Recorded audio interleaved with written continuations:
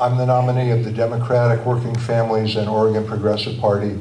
Jessica's the nominee of the Republican and Independent parties. Thank you. We shared our questions with the candidates about a week ago, uh, but they will have not seen the audience questions, which we'll get to about halfway through. So let's start with introductory remarks. Uh, we have asked the candidates to address these points in their introduction. Please introduce yourself and explain, particularly in relation to the top two or three environmental challenges you judge the district faces, why you are running for the Oregon legislature. Uh, candidates, you are welcome to either stand or stay seated uh, as you prefer, and we will start with Mr. Golden, and we'll rotate the first responder through the group with each new question. It's really the environment that pulled me into Oregon politics in the first place. When I first came to the state as a whitewater river guide and got involved fighting federal dam pro projects that turned free-flowing rivers into lakes.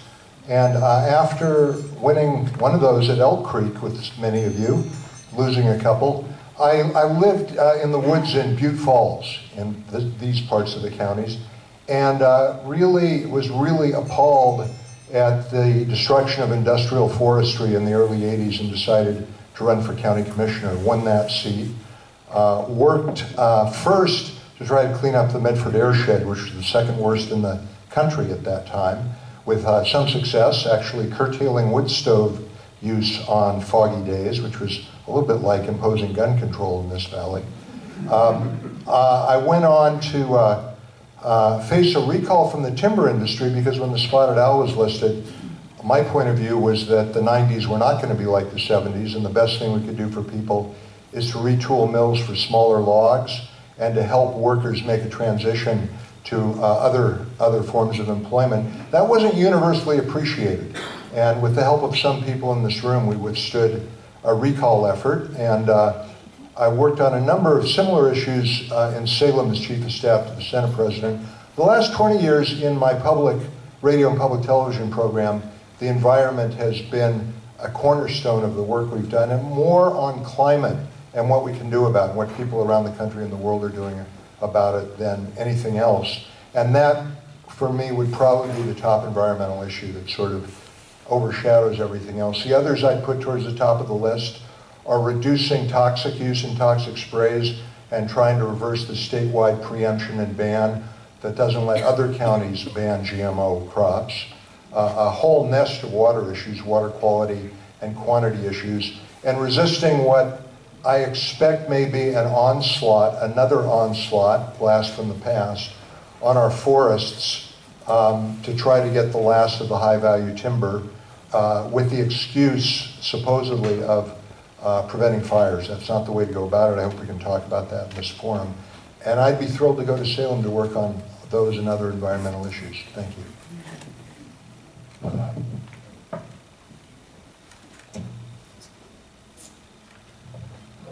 All right, can everybody hear me back in the in the far area? Thank you. So, uh, Jessica Gomez, I'll tell you a little bit about my history and what I do in my day job. Um, I'm the founder and CEO of Rogue Valley Microdevices. We make microchips, uh, do all of our manufacturing here in Medford. Uh, a couple of things that we make, we make a cancer diagnostics um, chip, so with one prick of blood, it will tell you whether or not you have cancer. That's going into clinical trials. Um, we make an air quality uh, sensor, a little bit ironic, over the past uh, last summer or two.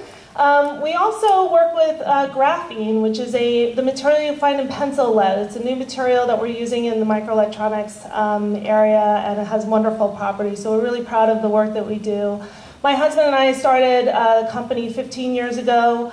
Um, we moved here to be close to family, raise our kids. Um, company was just the two of us, so we started with a bare floor um, and an empty garage, right? And, and worked really hard and put every piece of our facility together ourselves. Through that process, I really started to develop um, a love of entrepreneurship and really uh, worked hard to understand what it is about our valley and how we can uh, be more supportive to building um, a more diverse economy. And I got involved with a, an organization that I started that was called uh, Sustainable Valley Technology Group. Um, and that was really successful. We ended up going to the state legislature and uh, meeting with lots of uh, people and, and raising money for that. I've served on a number of boards and commissions, and I, I find myself here today, and it's a big honor. And I just, I love this community tremendously, and I want to make sure that we're successful. I would say the two issues that we're facing here um, in the environment is the smoke and the fire year after year. And the other issue is water. Um, we need to think about water conservation and how we're going to manage our water in the future.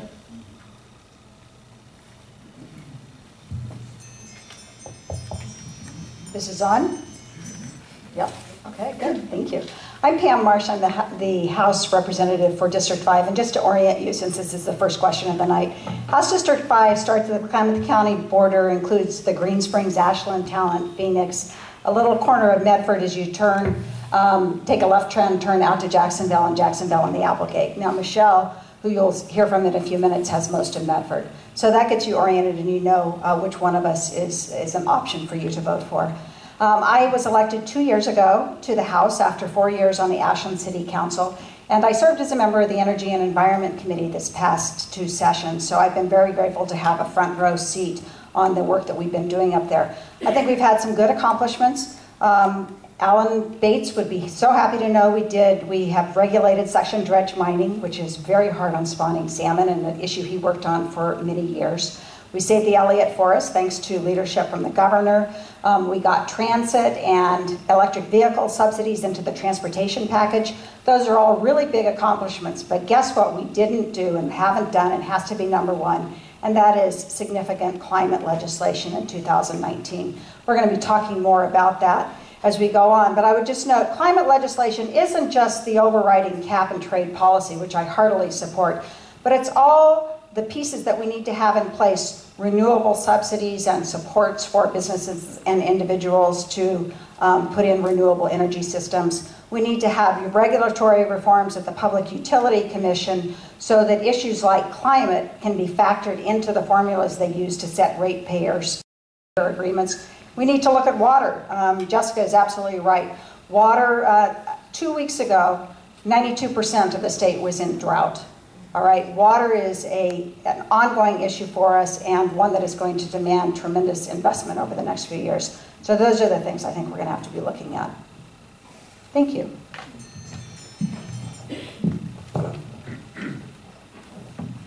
All right, can you hear me?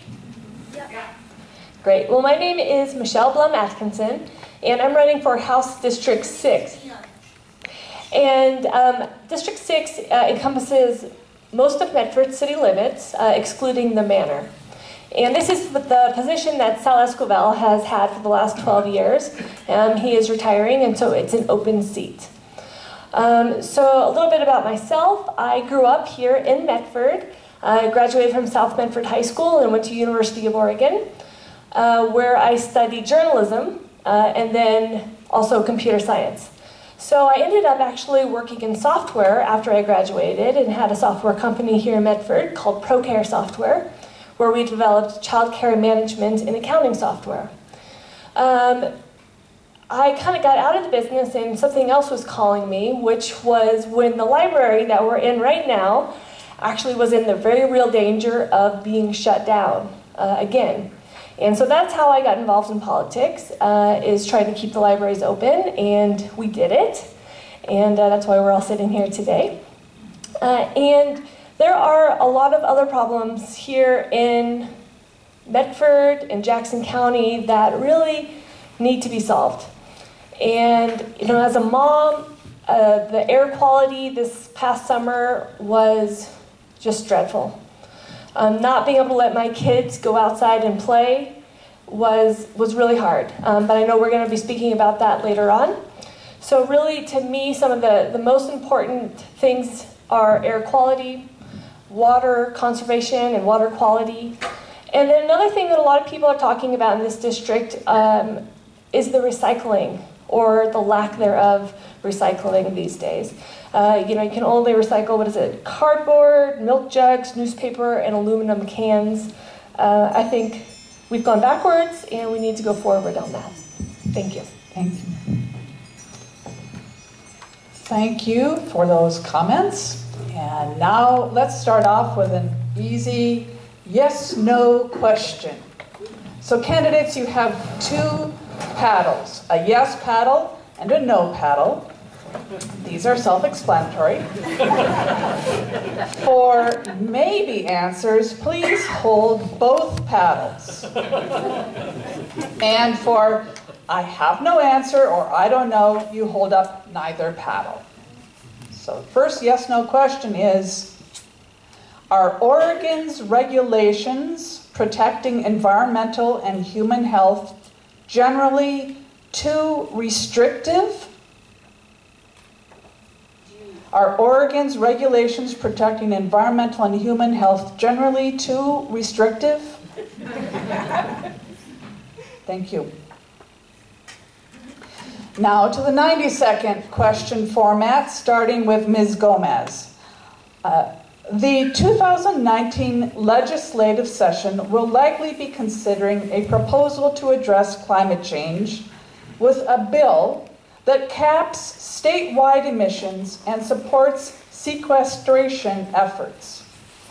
What positions will, bring, will you bring to the discussions of such a proposal and why?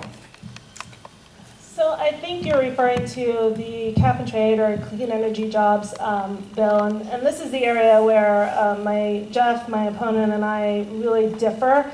Um, I have two issues with this bill. Number one, it implements a really complex cap and trade system, and right now I don't have a lot of confidence that the state can actually manage that structure, right? Uh, we tried in some ways to do something similar with the business energy tax credit. It was an absolute disaster. In fact, we had a lot of fraud, and some people even went to jail over this. The other thing that I feel like is an issue here is that if we're really looking at reducing carbon emissions, which is what I would love to do, I don't think that this bill really gets there, right? In Oregon, we are 4 million people. Um, there are 7 million people on the island of Manhattan, right? Just to give you some scale as to what we're talking about here. Uh, we're talking about generating uh, $750 million um, per year. Uh, and we don't know how the money is, is actually going to be spent. Uh, you know, I think we need to start investing in, again, uh, water reclamation and water conservation. Um, I love the WISE project. I think that's a great use of funds. Um, also getting into our forests and doing proper forest management, and I don't see that this bill gets us there.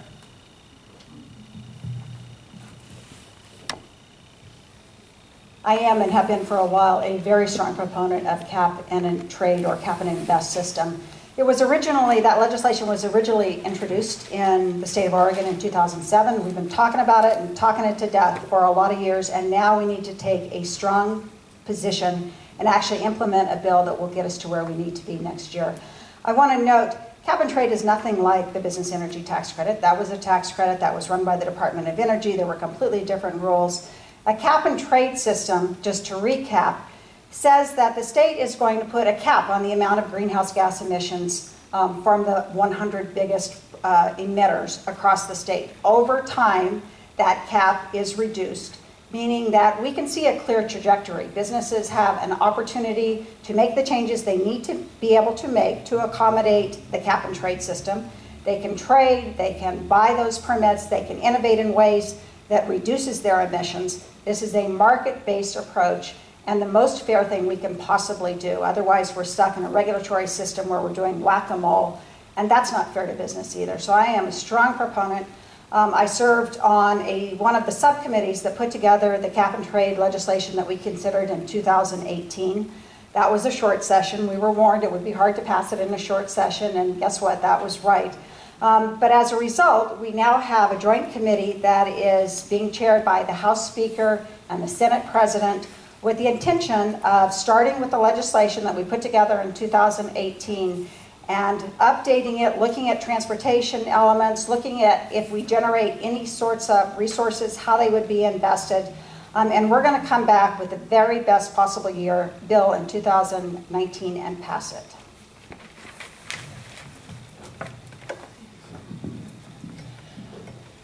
I am really looking forward to being a vote in support of the Clean Energy Jobs Bill.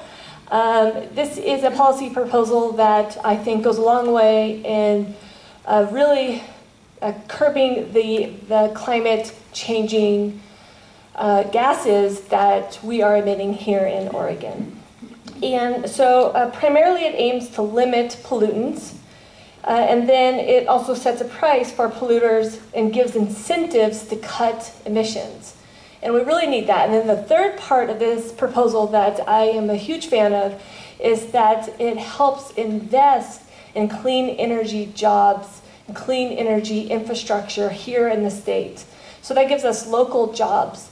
So for instance, a lot of energy that we get from, say, coal, that's providing money out of the area and extra pollution that we don't need.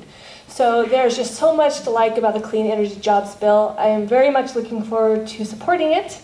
Uh, and there's an analogy that I like that I've heard before is, you know, we don't let people just throw their trash in the street and expect someone else to pay for it. So why should we let the biggest polluters in Oregon pollute and then not pay for it? It doesn't make any sense, and this bill does. Thank you. I don't know of any responsibility more serious that we have than reducing greenhouse gases as quickly and as dramatically as we possibly can. Some say it's too late. I don't take that view.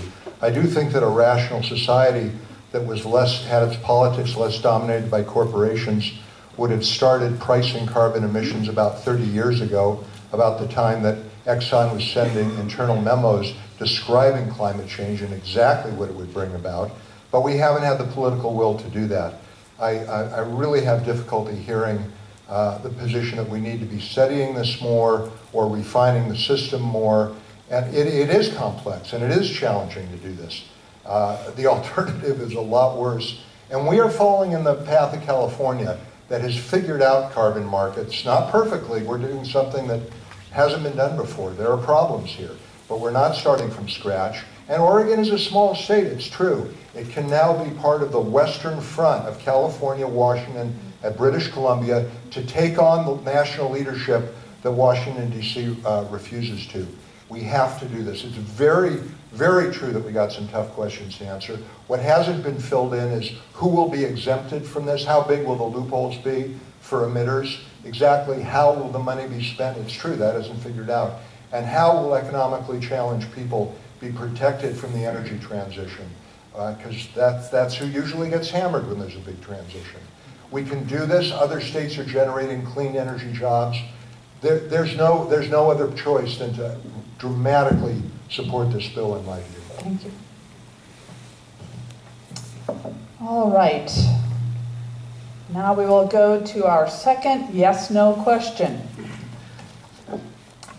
Would you pressure state agencies to deny permits for the Jordan Cove project?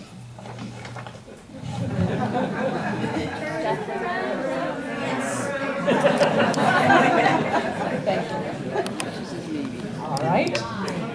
Thank you. Uh, and back to our 90 second format again. Uh, our second question, starting with Representative Marsh. The recurring summer wildfires and smoke present serious health, recreational, ecological, and economic problems for the region. What would you do to address the complex forest management issues confronting Southern Oregon? Thank you. I think there's one thing everybody in this room can agree upon is that it was a miserable summer for much of the time in the Rogue Valley. We had a month where businesses were hurt. Shakespeare Festival canceled 26 performances. We all walked around with masks trying to figure out who each other was on the street. Um, and in, about the middle of August, I realized that we really needed to start having a community conversation about the complexity of this issue and the paths that we can take forward to adapt and mitigate the circumstances. And I organized, along with help from a wonderful team, a Smoke and Fire Summit that was held a couple of weeks ago. Perhaps some of you attended. And what we did there was to, to begin to understand and talk together about the fact that there is no easy solution to this. Don't believe anybody who tells you they can do something overnight. This is a complex issue that's been developing over time. And what we do is, number one, we need to address forest management. I support the collaborative approach to looking particularly at the interface and making sure that our communities are safe as possible. We need to provide some support to businesses that are hurt, and we heard from the governor's office about some of economic development money that may be available to our community. We also need to look at things like air filtration systems and make sure we're in as good a shape as possible. We need to adapt our health and social services systems. We used to think shelters were only for the wintertime. It's clear now we need to talk about shelters in the summer. And guess what? We need to pass climate legislation because all of this is being fueled by hotter and hotter years ahead. Thank you.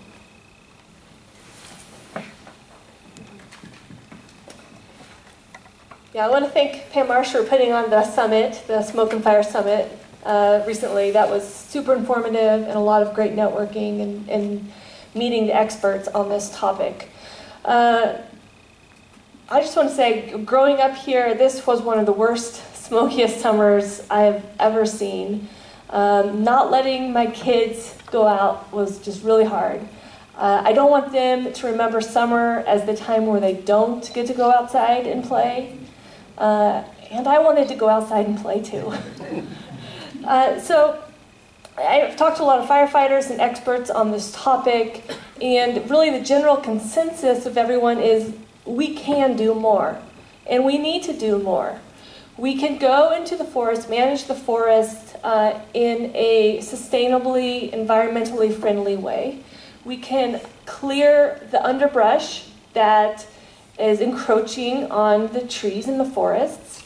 We can uh, do prescribed burns that can really clear and, and help maintain healthy forests. So this is really about creating healthy forests, healthy trees, not clear cutting. Uh, that has really created a lot of problems, is the clear cutting and then planting trees way too close together just creates uh, a recipe for disaster. So there's a lot we can do, and I really think we need to do more so we don't have summers like this every year.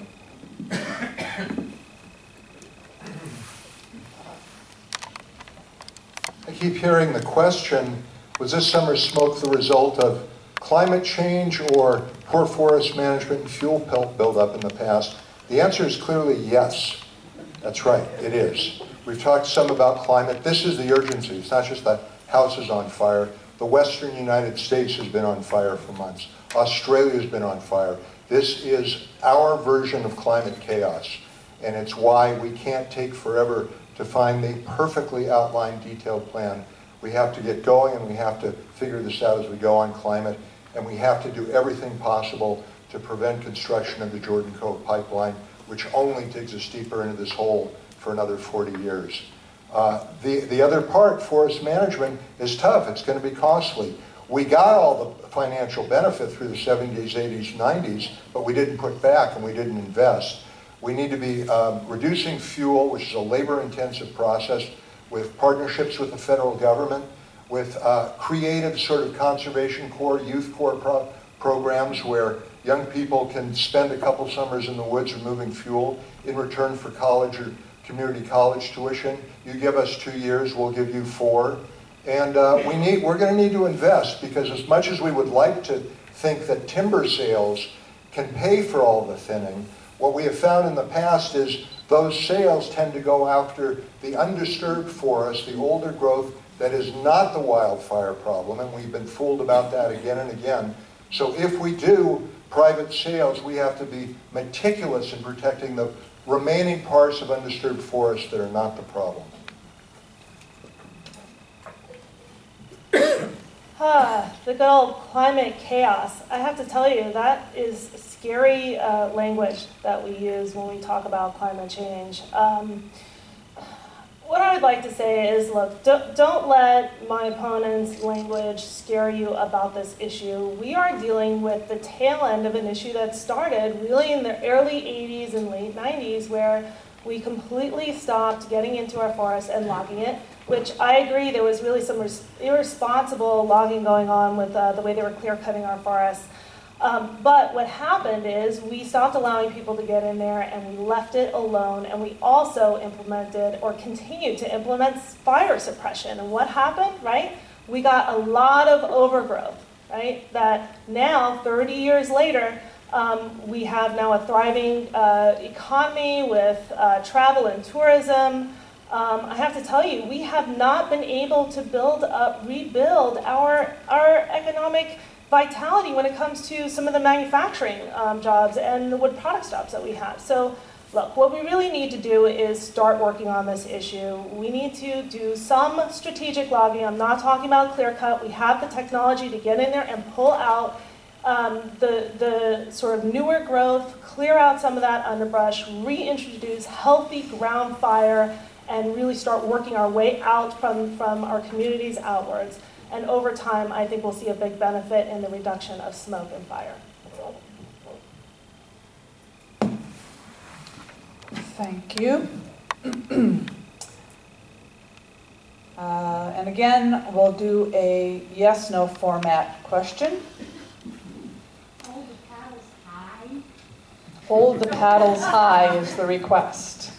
Not backwards? Not backwards.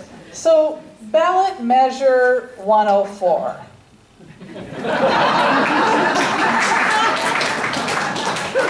This would require any proposal that raises revenue, including fees and licenses, No. to receive a three-fifths majority vote for approval. This would include fees for greenhouse gas emissions, such as those included in the clean energy bill. Do you support this proposal? Raise them high. Thank you. And now, our final 90-second uh, team question uh, from the SOCAN team, uh, starting with Ms. Blum-Atkinson. What components of your federal and state parties' environmental policies do you support? Which do you oppose? And how would you show your agreement or disagreement? Uh, so Oregon's Democratic platform uh, leads off saying, "We know environmental protection is a cost-effective and essential for our survival." And you know, we all know that this is a real critical issue. Uh, this is a life and death issue of protecting our environment. And so that is something that I, I do believe. Um, I believe in scientific peer-based study of this, this problem as well. Um, in order to have a solution, uh, we need to be scientific. Um, I support an equitable transition away from fossil fuel. So this needs to be something that doesn't affect low-income people the most. This could be something that actually helps low-income people to build up and have more. Uh, nationally, I support Senator Jeff Merkley's goal of 100% clean and renewable energy by 2050, although sooner would be better. Uh, I oppose our country's withdrawal from the Paris Agreement. Um, and what it means is that states like Oregon need to be more proactive in defending our environment. Uh, I do not support the Jordan Cove pipeline and that is something that not everyone in my party uh, opposes, but I think that um, it's too risky. The Jordan Cove pipeline is not something that Thank- I support. Thank you.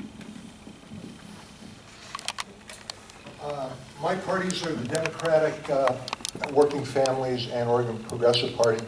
Uh, There is one plank near and dear to my heart in the Working Families Party platform. We fight for a just transition away from the global fossil fuel economy that guarantees working families' livelihoods for generations to come. That is not a pipe dream. Other states are ahead of us in doing that. The Democratic Party platform has 26 planks on the environment, which I am not going to read to you. Uh, and I didn't see any words I disagree with. They're all good, good goals, whether it's sustainable forestry or protecting water, reducing toxics, it's things we have to do. But the words and platforms are not what improve uh, economies and improve people's lives. I'm more interested in how those intentions hit the ground in actual policy. And a really important example of that is the Clean Energy Jobs Bill. There will be a Clean Energy Jobs Bill that passes in 2019. The question is, what kind of a bill? Will it be window dressing, or will it will help Oregon turn the corner uh, and become one of the national leaders on GHG reductions? I, I mentioned the open questions, how, how are poorer people protected, who gets exempted, how's the money get spent. That's going to be warfare in the committees and meetings that are not on the Senate floor. And it is, a, to me, it is a perfect example of why it's so important to go to Salem, independent of the pressure of special interest money, in order to fight for our kids' environment.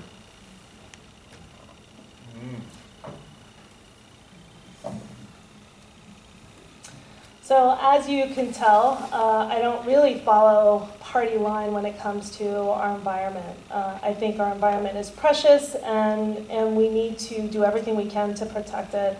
I would say just in general, um, you know, the policies that I support are policies that are practical, that are pragmatic. What I don't like to see is policies that are designed to solve one problem that happens in a big city right? And then it gets implemented across the board. And then when we get to rural parts of Oregon and rural parts of our states, um, it doesn't work so well. So I think we need to be careful about how we implement policy and make sure that it's flexible enough to accommodate um, our rural areas, like um, areas of Oregon where we live.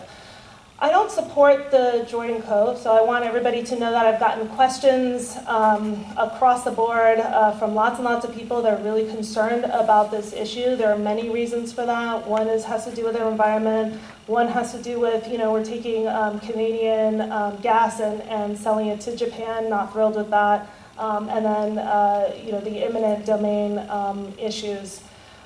You know, I really just want us to make some practical investments here. Everybody keeps hammering the, uh, the clean energy jobs bill. I kind of looked up on the internet. You know, we are at the, we're the bottom six in carbon emissions per capita, right? We're pretty good in Oregon. And I think what we need to do is allow legislation like our coal to clean to catch up. And I think we'll see really nice investments coming online from that. Thank you. All right. And Wait, wait, wait, Mimi. Oh, I'm so sorry. I'll make it short. Did I cut you off now? This is actually the time when I get to thank all of you, because the reason we have this great Democratic Party platform that Jeff referred to is because there are members of you who have been willing to trek up and sit in meetings and spend weekends really fighting for a platform that is powerful and speaks to these issues. So thank you to all of you for doing that.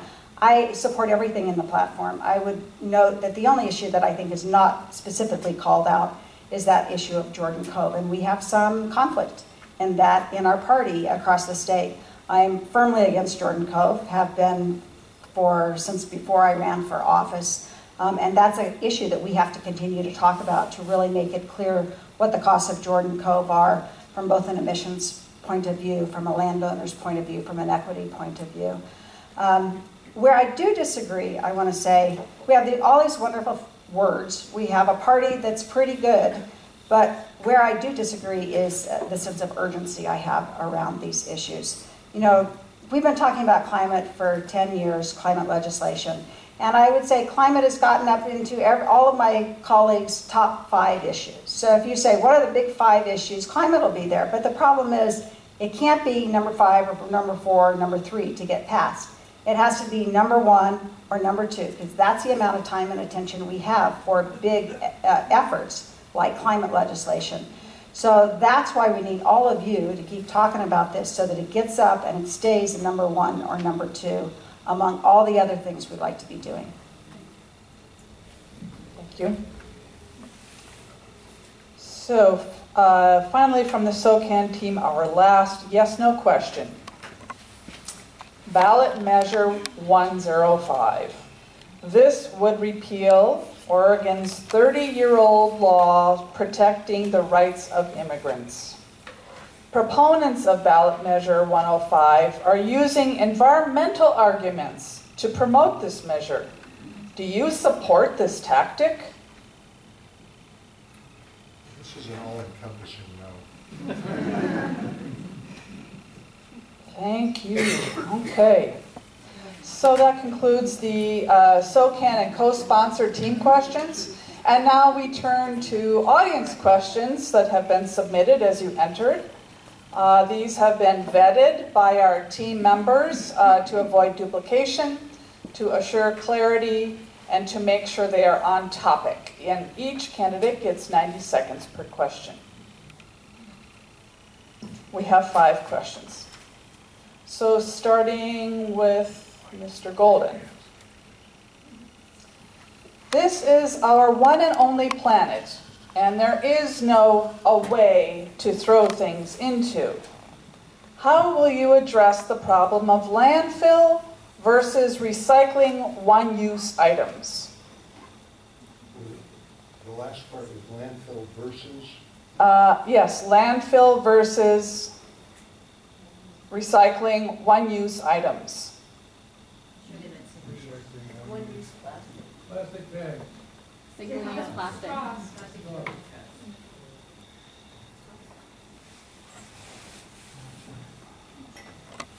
I'd, I'd like to broaden that a little to packaging, period, which is an unnecessary expense that doesn't serve anybody's well-being except perhaps the bottom line of certain package companies.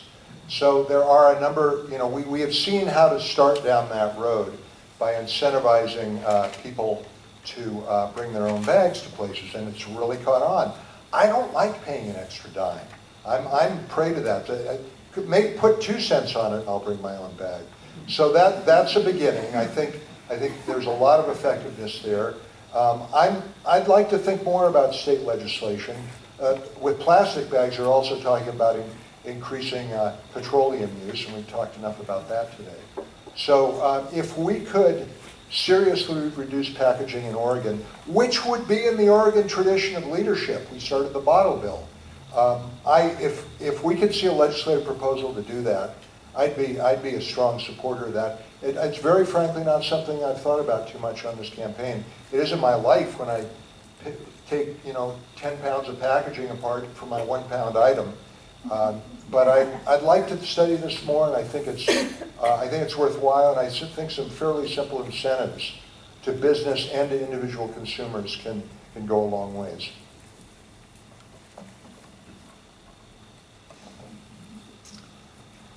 Yeah, reduce and reuse. I think we need to all think about that and help to educate ourselves and our neighbors about uh, what it means to take a plastic bag and, and reuse it and how impactful that can be. You know, we have a, an amazing company here in our valley called Rogue Disposal, and they are doing some incredible things with um, with uh, renewable natural gas. So they are taking garbage and are producing natural gas with our with our garbage, and it's an amazing um, thing to have here and a great example of what we could do with some of our, our garbages and um, and what that might mean for our sustainability and our, and our resiliency. I mean, we might get cut off through a Cascadia event, and having a resource like that could be um, really a, a, wonderful and incredible asset to our region. So I would say um, support efforts like that. Uh, I don't like seeing plastics and our garbage kind of going over to China and getting dumped into the ocean because we're not able to uh, bin our plastics properly. I think we need to pay close attention to um, what we put in our recycling cans at, at our homes. And there's technology that we can utilize to kind of help us get this done. So um, again, I think education is a big part of it. Working with our manufacturers is going to be um, a big deal too. Um, but I believe we'll get there. I was just sitting here reflecting on my memories of the first time I started recycling, and it was 1975, and it was in Palo Alto, and we'd take our cans and our bottles, we'd save them up for months, and then take them out to the Palo Alto dump where volunteers ran a recycling center. Probably many of you had experiences like that. Over our lifetimes, we've seen our ability to recycle become more and more sophisticated until we have these wonderful full-use containers that will take everything that we throw into them. In some ways, we booby-trapped ourselves by doing that because we made recycling way too easy. We started taking it for granted, And we got away from that very first principle, which is don't use so much stuff. Right? We decided if, if we could recycle it, it would probably be okay. So the, the crisis that we're having in our markets right now, where we're seeing recycling rejected from the foreign countries that have been willing in the past to take it, um, and rejected because we've been so careless in our own personal practices of recycling, um, is reminding us in a, in a good way of what we need to actually be doing. We need to be using less. I, I was, as an Ashland City Councilor, I voted in support of the plastic bag ban. Um, I think the community has uh, embraced that policy. I think, I think it was a good one. It certainly changed my own practices. I've learned how to juggle when I walk out of the store because I can't remember to bring those bags in. Um, and I think all of us, again, with this recycling crisis, have to take a close look at our own personal habits and what it is that we consume, because that is the fundamental issue here. I remember reading a story about a woman recently um, who carried around a jar, and in that jar was all the trash that she had created in the last two years or something like that. And I just remember like being just taken away, taken aback by that uh, because of how much trash I make, uh, especially having kids uh, and diapers. Um, you know, that's a lot of trash. And I know that I could be doing a better job, but what I really want is for it to be easier for people to do a better job. Um, easier to recycle. I think a lot of people who maybe didn't recycle the proper way, I think most people were trying. They didn't know exactly what they were supposed to be putting in the red bin. Um, a sticker telling us would have been nice. Um, and so, you know, here in Medford, it is, it is really hard not to be able to recycle. You know, my four-year-old was just figuring out what she could put in there, and now I'm saying, no, you, you can't put in paper in the recycle anymore. You can't put in glass. Those aren't things you can recycle here in Medford. Uh, and I'd really like to bring that back. Uh, I think that we need to make it easier to recycle, and I would really like to get rid of plastic bags very much. Thank you. Okay, uh, Audience question number two we'll be starting with Ms. Gomez. What is the state of Oregon's appropriate role in helping communities build climate resilience? That's a good one. I feel like this is really more of um, a local role, right? Um, one of the roles of a legislator is you have your community leadership role and you really you want to back that up with good strong legislation and so i think it really starts in our communities building awareness talking about how we become more resilient and how we become more responsible um, having this conversation about recycling educating ourselves about um, you know what are some of the things that we can implement here locally that will have um, a larger impact and then when we go to the state finding ways to support those efforts.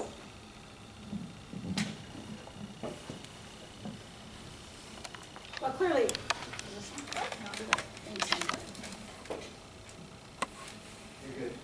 I'm on? Oh, okay, thank you.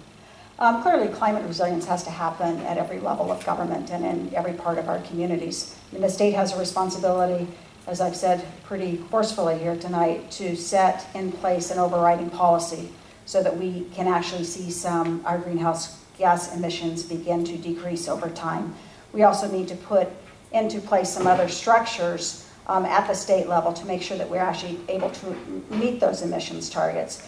And wherever possible, we need to support local efforts, but those can, are going to come out of our communities. Some of you are uh, residents of Ashland, where we have had a very active climate and energy planning process um, I was a part of initiating that when I, I was on the city council there because we understand that we need to take action in our own lives and in the context of our own communities.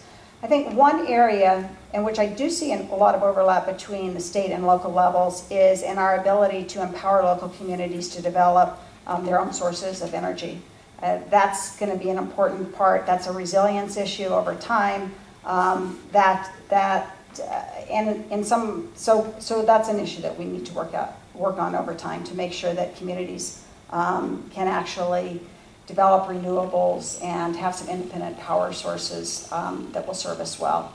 So climate resilience happens in, on the family basis, on an individual basis, on a community basis, um, on a state basis, and wouldn't it be nice if it happened on a federal basis?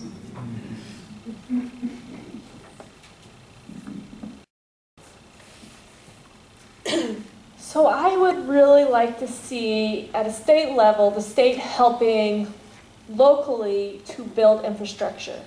So the state helps us build roads here locally and bridges here locally, and I think the state could help build clean energy infrastructure here locally as well. Uh, for some citizens, building a putting in solar panels on their roof may not make economic sense for them uh, if they don't plan on living there for 20 years, for instance, or maybe they're later in their life. Uh, but the government has the great benefit of being able to look far into the future and to invest in energy. In some, so it's a big cost to put in solar panels or to put in a windmill, but you get that money back. It's not like when you put in a road and it just continues to deteriorate. You put in a windmill and it pays for itself. That's pretty amazing. And those create jobs here locally too. So wind, solar, and hydro are types of investments that we could really use here locally. And, and they need to be done pretty quickly so we can start reaping the rewards. And the last thing I'll say is battery backups.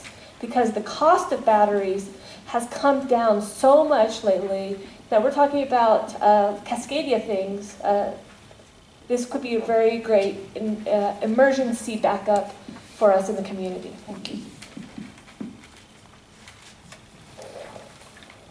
The real passion and engine for this work is at the citizen and community level, and it's happening. Pam mentioned Ashland, it's happening in Talent. I see it happening in Medford as well. And the state has to make that easier and provide some resources for that. I'd like to see solar and wind um, income tax credits back where they were. Those who object to subsidizing these green energies are not looking at all the ways we have subsidized, deeply subsidized petroleum for so many years. Um, I'd like to see the Department of Energy get a little more creative and a little more proactive in encouraging and incentivizing designs for community solar. Not everyone in their home has a good solar situation. There's a lot going on around the country around community solar that's distributed and doesn't need big transmission lines. Small scale hydro in some cases. I haven't seen a lot of creativity from the Department of Energy, and I think uh, there are federal grants available for that. I'd like to see them take more leadership there. And um, I'd like to see perhaps um, volume purchases of new energy technology coordinated through the state to make them more affordable for communities. There's some, I think there's some real serious partnership opportunities here. Thank you. Audience uh, question number three, and we'll be starting with uh, Representative Marsh. People of color and people living in poverty are more negatively impacted by environmental toxins in the workplace, neighborhoods, and children's schools. What will you do to help protect these groups and to implement stricter standards for pesticide and other chemical application and usage? So that is, that is a very broad question. But I think that, you know, bottom line is we understand that people who are of lower income or, and often the most diverse members of our community are often living in those neighborhoods that are most subject to pollution of all kinds, whether it's pesticides in farm worker housing or diesel emissions because you live beside the freeway or other kinds of issues because you live be beside an oil refinery. Um, we are, over time, um, I I think this issue is getting a lot of play in the environmental community, and I think justifiably so. You're seeing the big environmental organizations on the state level um, really make it an effort to pull in vulnerable communities so that we can speak to those needs. Um, at the state level, we're doing that in a few different ways. First, in the climate legislation, we are working hard to address impacted communities, and I co-chaired a subcommittee last year to look at climate legislation and how we can make impacted communities as whole as possible through utility subsidies and looking at the transportation sector. Clearly, we need to do that. Um, clean energy, clean air, um, Oregon was passed this past year. Um, it was in specific reference to some air pollution issues that have emerged in the city of Portland from glass factories. Those glass factories are very often along the freeways with vulnerable populations. We have passed standards to require greater regulation and to require those same entities to bear the costs of that regulation. So there are a number of different areas, and we just have to pick them off one by one and understand that we reach out and pay special attention to vulnerable communities because very often um, we have not done that in the past. Thank you.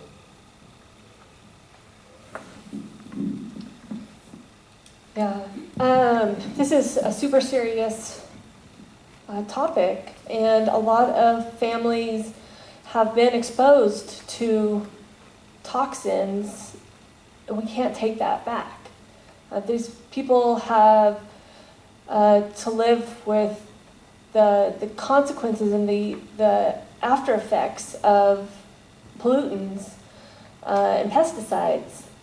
Um, I think of my stepdad who lived in a poor city in Ecuador, and they put, uh, I'm not sure exactly what it was, but chemicals in his bed to uh, keep away the, the bugs. Um, and, you know, he still has, um, you know, it's still affecting him to this day. Uh, so, you know, we have to protect our most vulnerable. We have to protect everyone.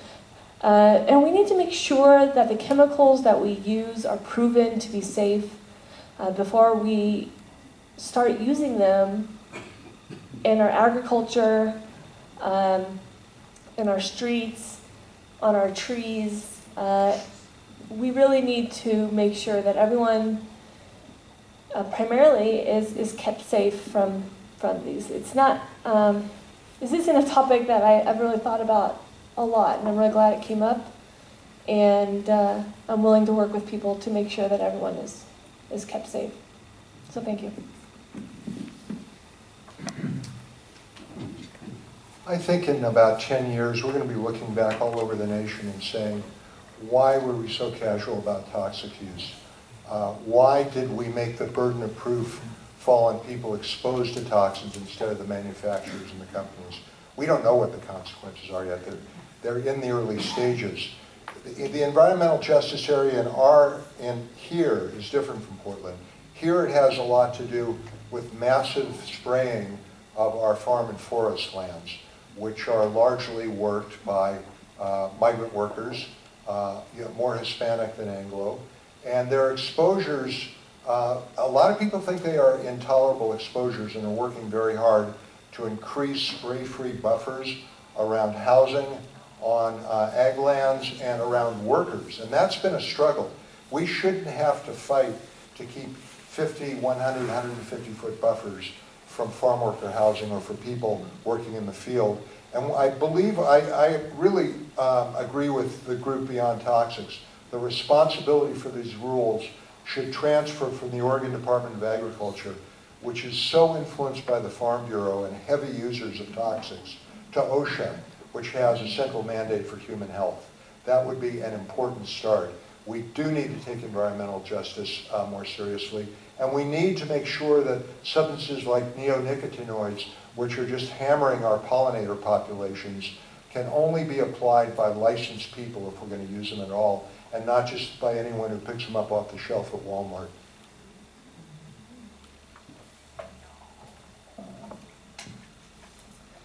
So, gosh, heavy, heavy topic here. When I think about this issue and how our most vulnerable people are dealing with this, um, infrastructure really comes to mind, right?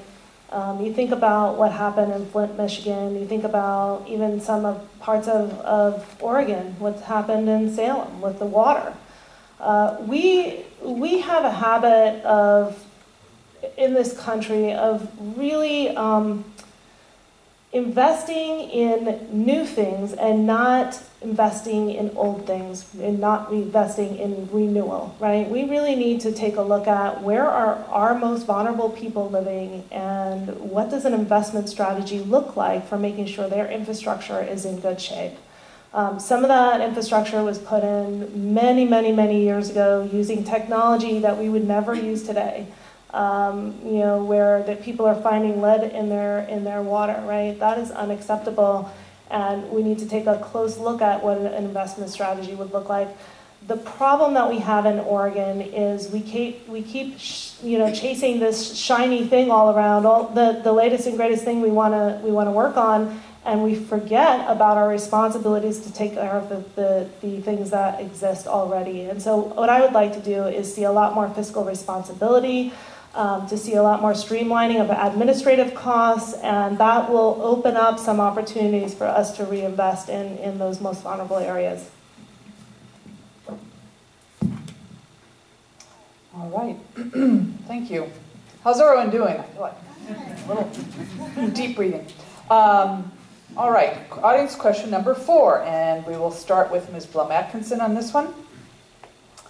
If you endorse Clean Energy Jobs Bill, how will you ensure investment banks and private interests cannot profiteer from aspects of a cap and trade system? I haven't heard this one before. uh, well, I would really want to make sure that the money goes to investments. Um, in infrastructure. I mean, that is what the policy that I've heard is proposing. Uh, and I want to see as much of the, uh, the money priced from the carbon and the emissions go into clean air projects, solar, wind, uh, and I would not like to see it going into bank fees. And and third parties. So how would I make sure? I mean, I think we have to follow the money. We have to be very clear where the money is going and uh, make sure that it is going to where it is intended.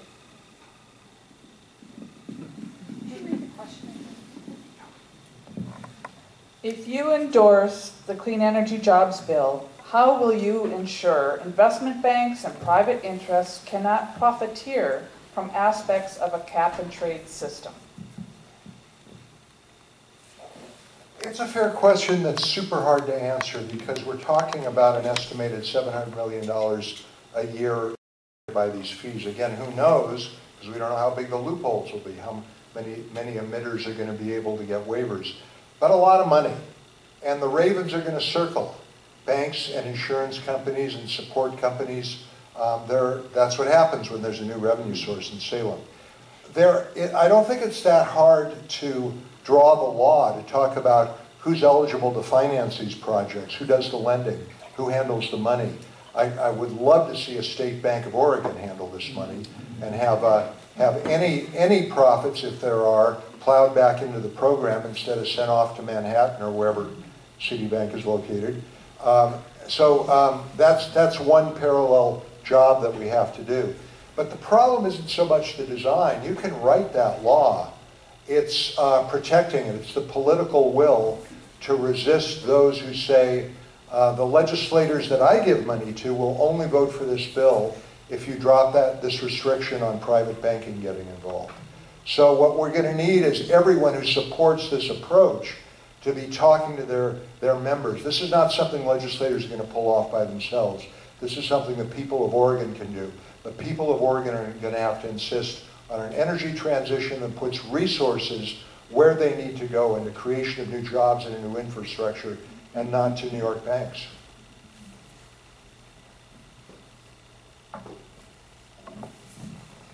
So this gets to the essence of why I don't support this piece of legislation as it's um, being proposed is because I am really, really concerned about our state's ability to manage this process and make sure that we're not um, that we're not leaving ourselves open to fraud and waste when it comes to the money that's going to be. I mean, we are talking about 1.4 billion dollars over the course of a biennium. That is a lot of money. Uh, you know, we can't. We have a number of agency agencies that are just a mess right now. Look at what's happening with DHS. Um, and we think that we're going to be able to bring up this, this new mechanism of sort of this complex financial trading activity and be able to regulate that property, uh, that properly. I, am concerned about that, and, and I would really want to see um, what that's going to look like and how we're going to handle that as a state um, if this goes through. You know, the other thing is, uh, thank, thank you, 30 seconds left. Um, you know, the other part of that is, um, you know, we ju- we are going to spend a even if we're able to do it right, we're going to spend a tremendous amount of money dealing with this complex system and regulating this complex system. So we're going to lose a lot of money right off the top, and we're not going to get to invest those dollars. I would rather take that money instead of wasting it in admin costs and invest it directly into things like water conservation and forest management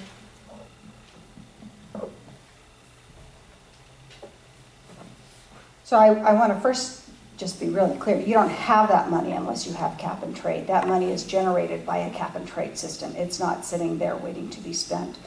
Um, and I want to reframe the whole conversation around how much money. Because we made a mistake, frankly, a year ago, strategically talking about this and leading with the amount of money to be developed.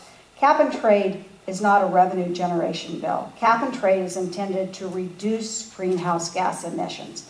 Now, some revenue could be generated in the process of implementing it because we will have permits for emissions that can be bought on the market. That's where we might generate some of the income. But it's not going to be $700 million a year. Um, when we got further into the legislation last year, that became very clear. The $700 million a year was in all likelihood a gross overstatement. Um, and that's true for a number of reasons that probably aren't worth going into right now, uh, although I'm happy to answer questions later in terms of our ability to manage money that's generated, I don't think there's any reason to think we don't have the, the capability to do that. We have a treasurer's office which handles um, a lot of money for our state retirement system and actually does a really good job investing it. Made 15% last year, whole nother conversation.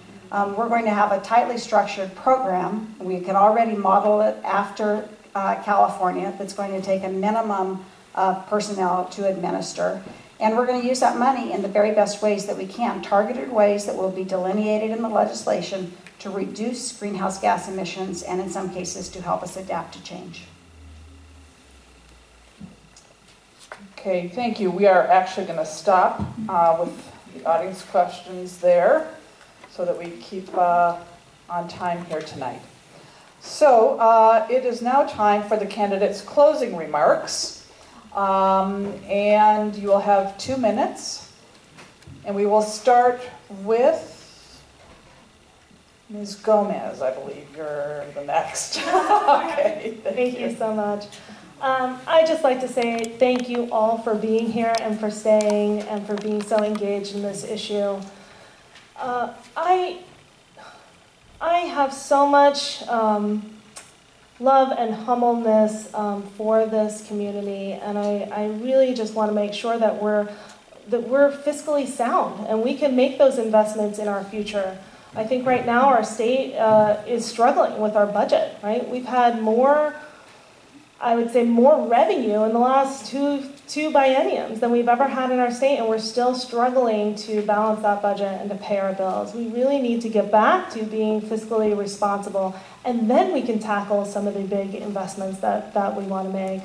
I'm really dedicated to working on education. Uh, we're 48th in the nation right now in graduation rates, which is terrible. We need to get our parents involved, and we need to focus on um, more engagement and, and getting our teachers where they need to be and supported.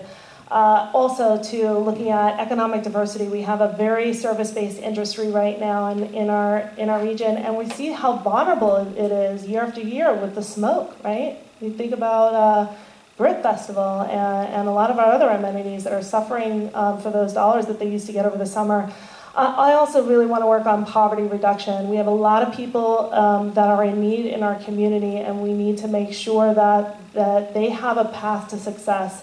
which means better alignment of our safety net system so that work is a net positive. We have something called the benefits cliff in, in Oregon and all around the country. So if I'm a single mom and I start, um, maybe I'm reliant on some of those services, um, Medicaid or OHP, um, maybe I'm on SNAP or food assistance, and I start to work, the first thing that happens is those things start to drop off very quickly. Um, and I can't afford to replace them with the money I'm making. We need to make sure that work is always in that positive, and that will bring more prosperity overall to our state. Thank you. When I ran for state office two years ago, I'd go around the state and people would say, so what's, what are your priorities? What are you going to work on? And I would say climate change at the top of the list. And I get this response, sort of this puzzled look, like we don't hear candidates who have climate change on the top of their list.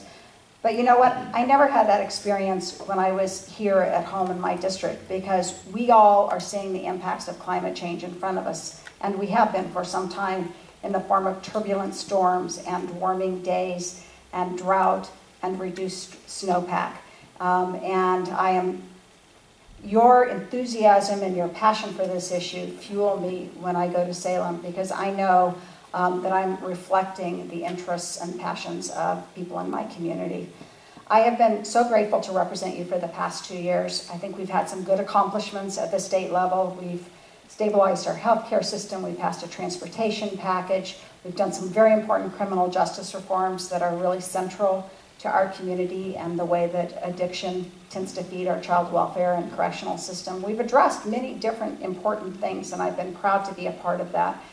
And what we haven't done a super great job on is environmental issues in general, um, climate obviously being at the top of that list. I think we who care about these issues desperately need to continue um, to talk about them so that again they move up, they move up, they move up, and pretty soon they're, they're at the top of this list.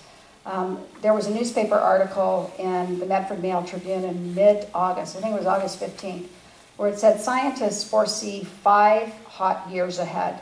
And what the story was, was even with climate projections, even with those, the years ahead that we are, we are forecasting will be even hotter than we would have predicted um, when we look at the climate forecast.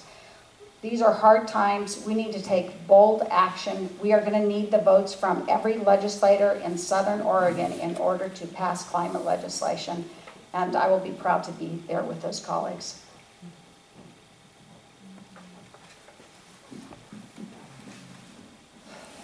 We must take immediate action to defend our planet.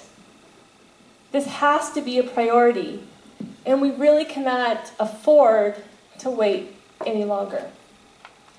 Uh, I am disappointed that my opponent didn't show up today because I think we all deserve to hear where she stands on these issues.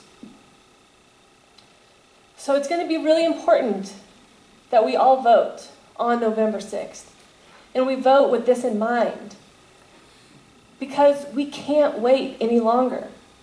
We have to make real change here on climate.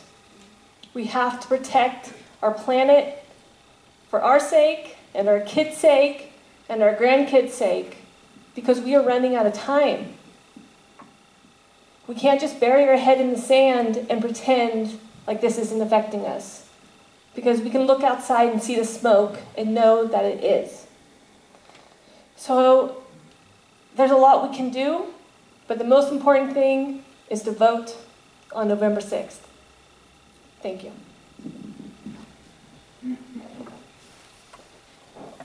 I wrote a book in 2003 called As If We Were Grown-Ups that's about politics for grown-ups. And it imagines electing legislators who, before big votes, instead of asking themselves things like, what will my big funders think of this, ask themselves, of the choices available to me here, which are best for our children and our grandchildren? And I, I mostly had climate and environmental issues on my mind when I wrote that. And I wonder if there is anyone in this room who, reflecting on things and the kind of life we've led and the kind of trends we're facing now, who feels good about our stewardship and what we're handing off to the next generation. I, I, I doubt that there is. Maybe there is. I'm not one. It, it feels like we have consumed and extracted for our own uh, pleasure and convenience with very little, very little thought, not just to, to the seventh generation, to the third generation, second generation, our kids. And it's time, you know, it's, it's like, are we really going to look at them and say, hey, there was a great party, thanks a lot. You wouldn't mind cleaning up after us, would you? Good luck with that, bye. I don't think so. I think we're being called right now, the smoke is part of the call, to something different, to a different way of doing things. It is a matter, it's not just government, it's very much a matter of our personal habits and re retooling what's in our best interest and what we think of as convenient and doable. We have to, all of us, look at that in our own lives. But we also need really bold government strategy and policy that bucks especially the fossil fuel industry like we never have before. And it is true, it is completely true. We don't know, know exactly how this bill will work. We don't know exactly what the path is. But the house is on fire and we should not be debating on the front porch whether ceiling sprinklers or fire extinguishers are a better way to do it for the next 10 years. Uh, and there are some models. California's modeling it. We're not starting from square one. Thank you very much for your attention and your passion of these issues. Thank you very much. So that concludes the candidate response component of our forum. Um, and uh, before handing the microphone back to Alan briefly, I'd like to pause so that we can offer the candidates a round of applause for attending and preparing for this forum.